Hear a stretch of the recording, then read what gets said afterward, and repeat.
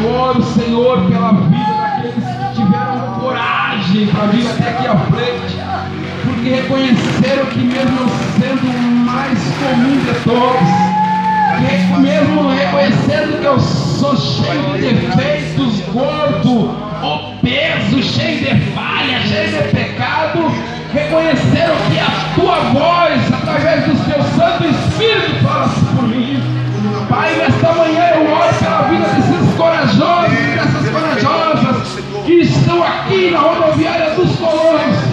e que desejam, meu Deus, que o 2018 não seja como o ano que passou um ano problemático, sem esperança, de choro, de tristeza, mas que seja um ano de vitória, de alegria, de mudança na sua casa, na sua família, na sua comunidade e dentro do seu coração. Toma nas tuas mãos, meu Deus, esta manhã, cada família representada neste lugar, aqueles que ainda estão com o seu coração endurecido, comece a quebrantar o seu coração para que a tua palavra venha cair posteriormente. Eu venho orar, Senhor, para que o Senhor venha dar vida para esse povo, Pai. Venha dar uma luz àquele povo, Senhor, que está em minhas trevas. Senhor, nesta manhã, repreendemos todo o espírito que tem escravizado as pessoas através do vício, através da prostituição, através de tantas coisas erradas que têm destruído as famílias.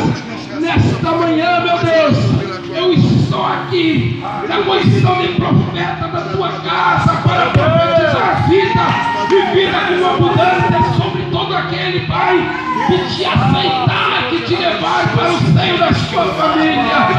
Glorifica, Senhor, o teu nome sobre a vida dessas pessoas, para que eles possam entender que nesta manhã o Senhor esteve comigo, para que eles possam entender que nesta manhã tudo o que eu falei não veio de mim, mas veio da tua parte.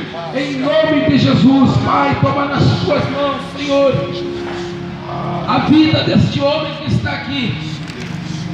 Em nome de Jesus Cristo. Nesta manhã eu oro pela tua vida.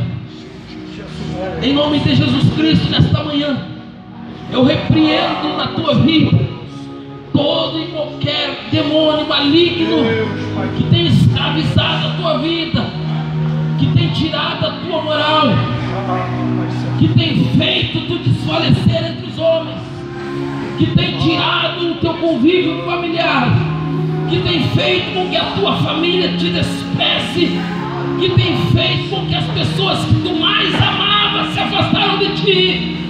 Deus, nesta manhã, Ele te promete que se tu der um passo em direção ao Senhor Jesus Cristo, Ele vai mudar a tua vida, Ele vai transformar a tua vida.